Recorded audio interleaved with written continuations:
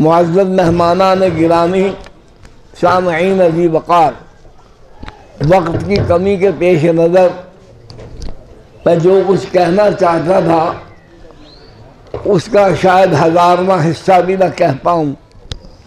لیکن اتنی گزارش کرنا چاہتا ہوں کہ یہ کام اللہ اس کی توفیق دیتا ہے۔ دن میں اللہ نے بات ڈالی اور میں ہمیشہ اسی پر کار بن رہا ہوں۔ میری زندگی کا جو اجتماعی زندگی کا حصہ ہے، اس کا ننانوے فیصد حصہ اتحاد اور اتفاق کی جد جہد میں مصروف رہا۔ یہ تاریخ کی شہادت ہے۔ اس کے لیے میں نے کسی سے کوئی انعام نہیں دینا، کوئی تمغہ نہیں دینا۔ کوئی نعرے نہیں سننے، اللہ کی رضا کے لیے اور اس یقین کے ساتھ کہ جب تک ہم متحد نہیں ہوں گے، اس وقت تک ہماری نیا کنارے پہ نہیں لگے گی۔ صرف یہ گزارش کرنا چاہتا ہوں، میرے معزز مہمانوں نے، جن خدشات، خطرات اور جن پریشانیوں کا اخلاقی ہوں، معاشی ہوں، انفرادی ہوں، اعتقادی ہوں، سماجی ہوں، ثقافتی ہوں، تہذیب تمدن کلچر جو کچھ انہوں نے تباہی بربادی کی صورتیں آپ کے سامنے پیش کی میرا صرف سوال یہ ہے، اس سب کا ذمہ دار کون ہے؟ پینسٹھ برسوں میں علماء کے پاس حکومت نہیں رہی پاکستان۔ مسلم لیگ ہے، پیپلز پارٹی ہے، پھر نون لیگ ہے یا کاف لیگ ہے۔ نئی نئی صورتیں جو ہمارے سامنے آ رہی ہیں، ہمارے نجات دہندہ بن کر، وہ خود کفر و ارحاد اور زندقہ کی دندر میں پھنسی ہوئی لکھڑی ہوئی شخصیتیں ہیں۔ جن کا کردار کسی سے چھپا ہوا نہیں، چھپ نہیں سکتا۔ ان کی علامت اور پہچان کردار کی گندگی کے سوا اور فکری یوبیدگی کے سوا کچھ نہ تھا، نہ ہے، نہ ہوگا۔ سوال یہ ہے، کیا ہم ان مسائل سے نجات چاہتے ہیں؟ بولیے، چاہتے ہیں؟ تو کیسے؟ جب تک یہ نظام موجود ہے، لکھ لیجیے، قیامت آ سکتی ہے، مسائل بڑھیں گے، مشکلات بڑھیں گی، پریشانیاں بڑھیں گی، اعتقادی گمراہی الحاد اور زندقہ، کفر اور شرک، بے حیائی اور یعنی فحاشی، چوری، ڈاکہ، قتل، اغواز، جناب بد بیانتی بدعنوانی، ملاوٹ ہمہ قسم کی تمام برائیاں طاقتور ہوں گی یہ نظام اللہ کا دیا ہوا نہیں ہے، یہ کفار کا دیا ہوا نظام ہے۔ یہ مسلمان بھی جب اس کو اپنائے گا، خدا کی بغاوت کی راہ پر چلنے پر یہ نظام اس کو دے کر جائے گا۔ پیغمبر کی مخالفت کی راہ پر پینسٹھ برس میں یہ قوم کہاں سے کہاں پہنچ گئی؟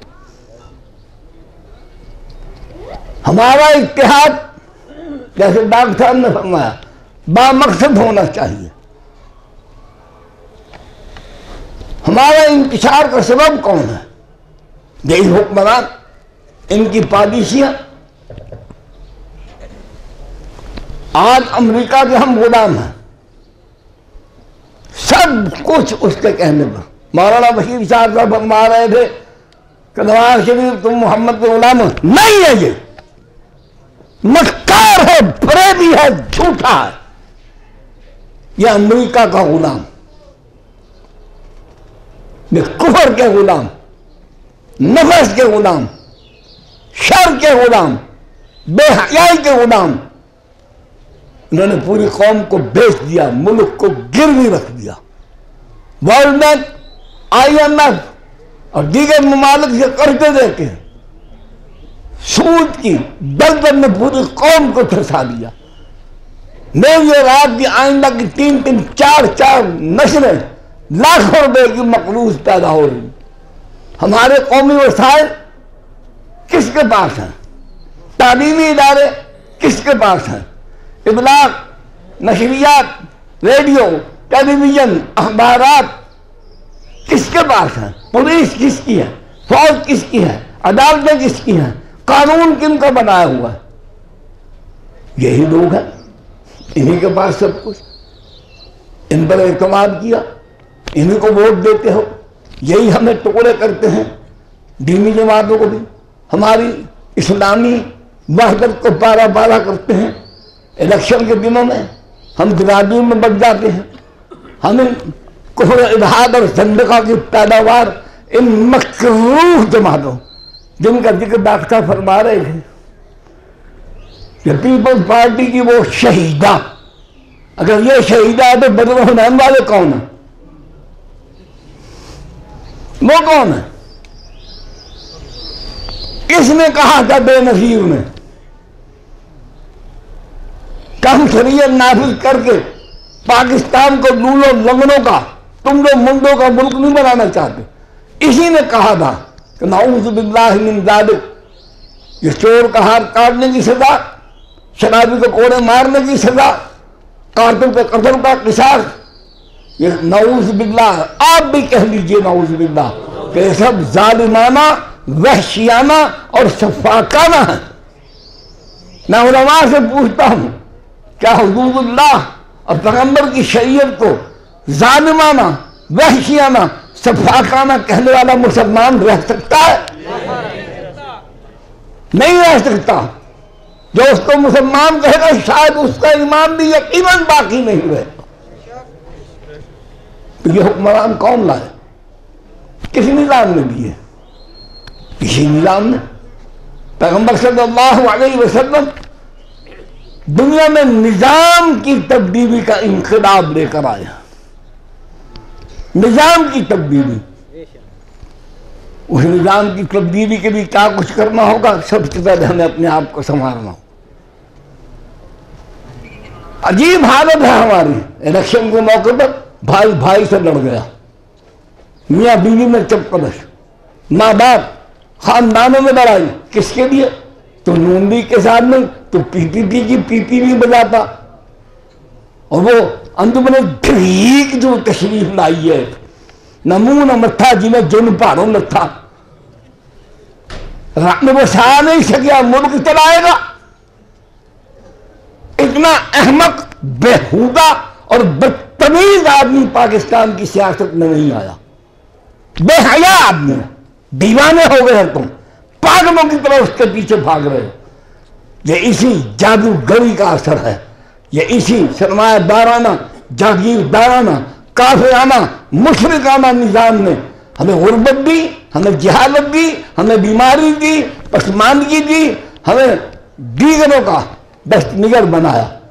بھوکے کو دو روٹی کی بھوک ہے۔ اس کو آدھی روٹی دیتے ہیں، تسلی دیتے ہیں، باقی ڈیڑھ بھی ملے گی۔ دوسرا اگر آدھی دینے کا پھر لالچ دیتا ہے۔ تیسرا اگر یہ سٹپنیاں ہیں سٹپنیاں سیاسی سٹپنیاں ہیں۔ جب تک اس نظام کو تبدیل کرنے کے لیے تمام دینی قوتیں کسی بے کے ساتھ اتحاد مت کرو۔ پینسٹھ برس ہو گئے ہمیں۔ کبھی پیپل پارٹی سے، کبھی اے ایم پی سے، کبھی اس سے، کبھی اس سے۔ نتیجہ کیا نکلتا ہے؟ ہمیں اپنا موقف کمزور کرنا پڑتا وہ اپنی ایک بات بھی نہیں چھوڑتے۔ وہ ہم سے دستخط دیتے ہیں اپنے موقف پر، اپنے نکات پر۔ ہم قرآن و سنت کو چھوڑ کر ان کے ساتھ متحد ہوتے ہیں۔ ان کے ساتھ M M A M P S کی تقسیم کرتے ہیں۔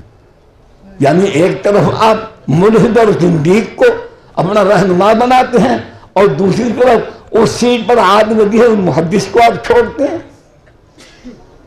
ان سے توقع رکھو گے۔ یہ فیصلہ کرنا ہوگا۔ یہی ہماری دعوت ہے کہ آئیے، ہم سب مل کر ان مشترکات پر، ان متفقات پر، جس پر تمام دینی ادارے، جماعتیں، شخصیتیں متفق ہیں۔ سب سے پہلے خدا ایک ہے، قرآن ایک ہے، نبی ایک ہے۔ حلال حرام ایک ہے، پاک ناپاک ایک ہے، جائز ناجائز ایک ہے، سب کا قبلہ ایک ہے، عبادت ایک ہے، وقت ایک ہے، طریقہ ایک ہے۔ اختلاف کس بات کا ہے؟ اختلاف ان امریکی، یہودی غلاموں نے ایکسن کالج کا پکارو کالج کا، وہاں کے بے دینی ماحول کا پلا ہوا۔ یہ بے دین یہ کینگل میڈیکل کالج، وہاں کے۔ وہاں خدا نے ملتان کی یونیورسٹی میں سریا ملتانی کر جا سکتی ہے موسیقی تانا ریوی سکھانے کے لیے۔ شیخ الحدیث حدیث کے لیے نہیں جا سکتا۔ شیخ التفیر نہیں جا سکتا۔ تو پیدا کیا ہوں گے؟ رقاص پیدا ہوں گے، نچیے پیدا ہوں گے، گویے پیدا ہوں گے تبرکیے پیدا ہوں گے۔ گویوں، نچیوں تبرکیوں رقاصوں کو قرآن و سنت سے کبھی لگاؤ نہیں ہو سکتا۔ یہ وحشت زدہ ہو جائیں گے قرآن ہاں ان چیزوں کو معاف نہیں کرتا، ان کی اجازت نہیں دیتا۔ اس سے معاشرے میں تباہی آتی ہے۔ انسان انسانیت کو مقام سے گر کر حیوانیت سے بھی نیچے چلا جاتا ہے۔ وہ درندہ بن جاتا ہے۔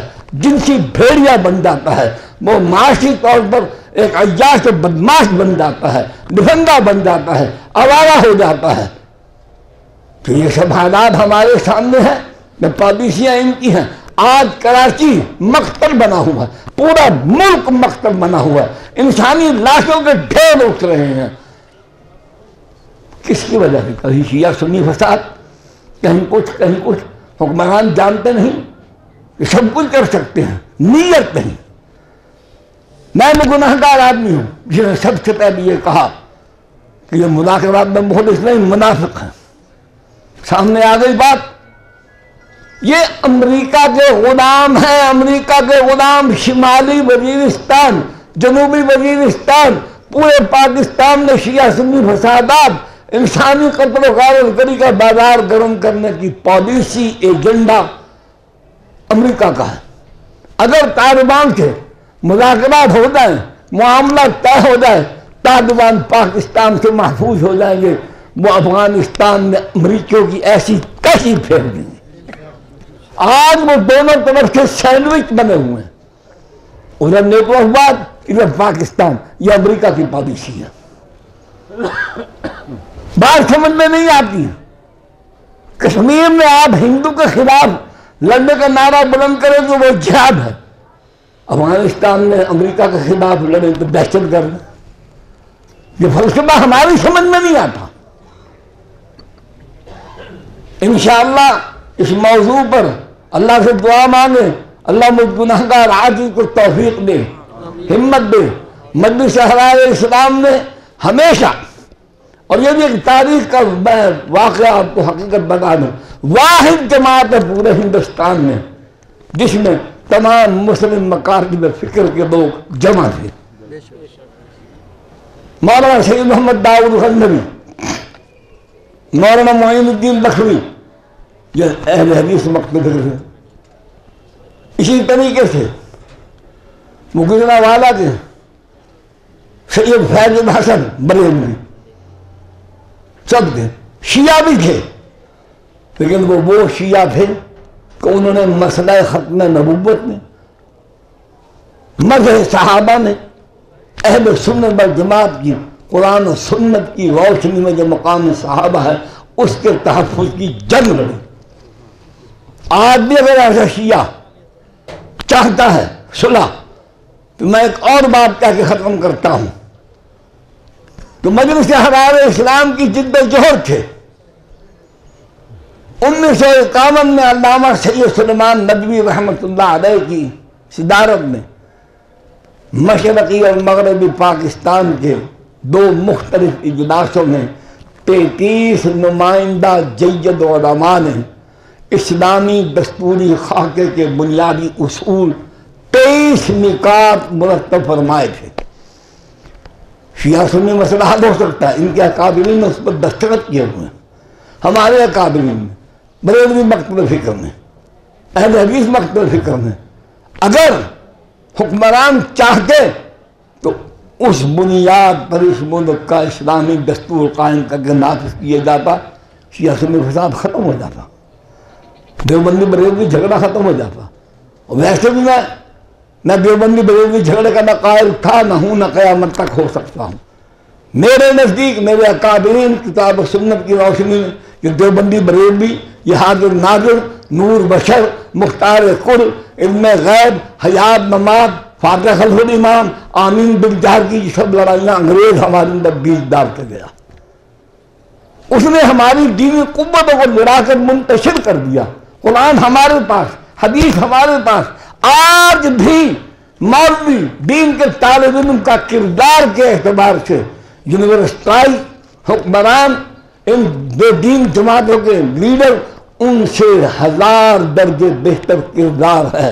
ہمارا مولوی جھوٹ نہیں بولتا، زانی نہیں ہے، شرابی نہیں ہے جواریہ نہیں ہے۔ پردے کی بات کرو، یہ پاگل کتے کی طرح بھونکنا شروع کر دیتے ہیں، نام نہاد دانشور۔ پوچھا ان سے کہ پردے کی بات کرنا بڑا جرم ہے حبا کی بیٹی کے ساتھ، یا اس کو تباہ بنانا کنگری بنانا، عصمت فروش بنانا۔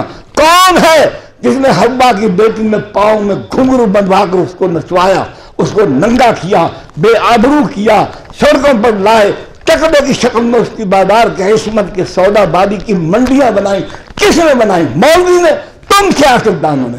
تم حکمرانوں نے تم جاگیرداروں نے، تم بڈیروں نے، تم نہ چاہتے ہو بہو بیٹی کی شادی پر، بیٹے کی شادی پر۔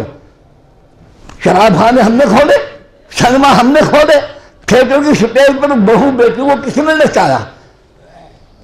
آج تم اپنا کاروبار، سگریٹ، جوتا، پالش، کپڑا، رومال، پینٹ، شرٹ، کوئی چیز بیچنے، ننگی عورت کی تصویر تم لاتے ہو۔